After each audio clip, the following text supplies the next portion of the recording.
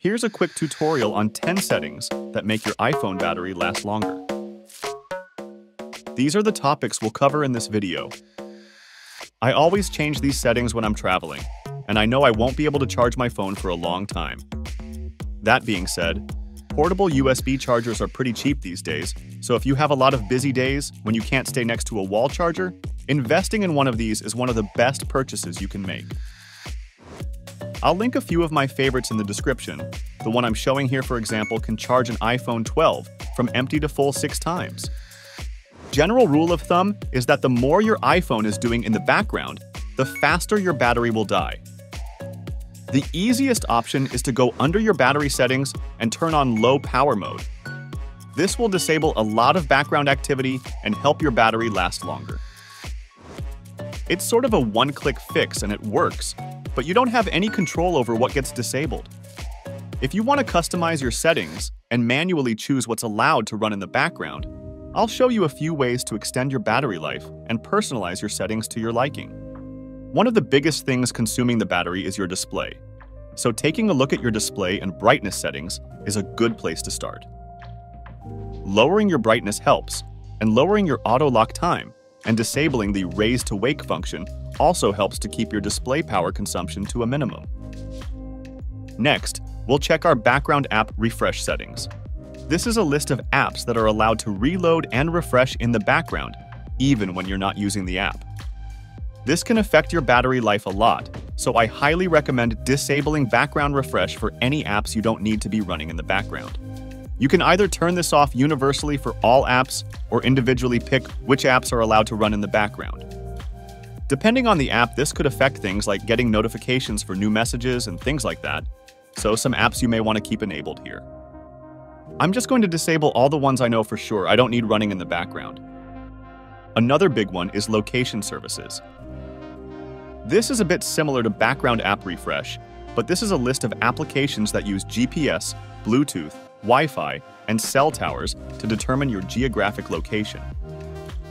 GPS and location data drains a lot of power, so I recommend disabling this for apps you don't want to share your location with. Or if it's something like Google Maps, where you need location services, you can set it to be enabled only when you're using that application.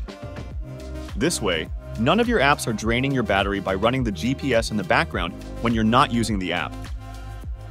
A lot of your iPhone's basic functions rely on location data as you can see here. And again, on the top of your app list, you can switch these off system-wide for all applications with one click if you want to temporarily turn location services off for everything. A couple of things you can quickly change from your control center. Display brightness, but also Wi-Fi and Bluetooth settings. If you're not using any Bluetooth devices, turning off Bluetooth will help your battery life. Likewise, if you're not using Wi-Fi, your phone will appreciate it if you give it a break and allow it to stop looking for open Wi-Fi networks. The biggest power saver is airplane mode. This will turn off your cellular connections as well, so you won't be getting any calls or texts, but your battery life will see a massive increase.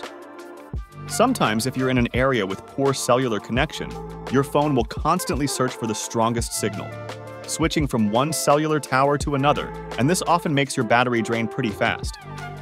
If you're off the grid and don't need a cellular connection, turning on airplane mode will save your battery a lot.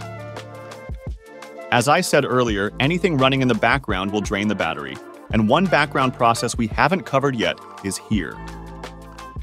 Motion and fitness. This is basically the health and fitness apps on your phone tracking your movement. Your iPhone is analyzing your daily moves, counting your steps, stairs you climb, and things like that so obviously measuring all that in the background 24 hours a day will affect your battery life. If you want some extra juice left for other activities, you can turn this off. Another background process, once again draining your precious battery life, is Siri. Your iPhone is constantly scanning the microphone, waiting to hear that Hey Siri command. I like using Siri, but I always do it by pressing the side button on my phone, so I'll tell my phone to stop listening for the Hey Siri command here. One last thing I'm going to show you is the settings for the Mail app and how it's fetching new emails. Again, this is something that runs in the background, and depending on how you have it configured, your Mail app might be constantly checking for new emails in the background. There are different intervals you can set for each mail account, or you can simply tell your phone to stop automatically fetching emails, and it will only do it when you open up your mail app. There you have it 10 ways to increase your battery life.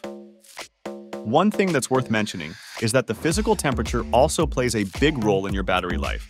So avoiding extreme cold and hot temperatures as much as you can will help your battery life. Thanks for tuning in. Our subscribe button below is begging for a high five, so go ahead and give that guy a friendly tap. He really likes it.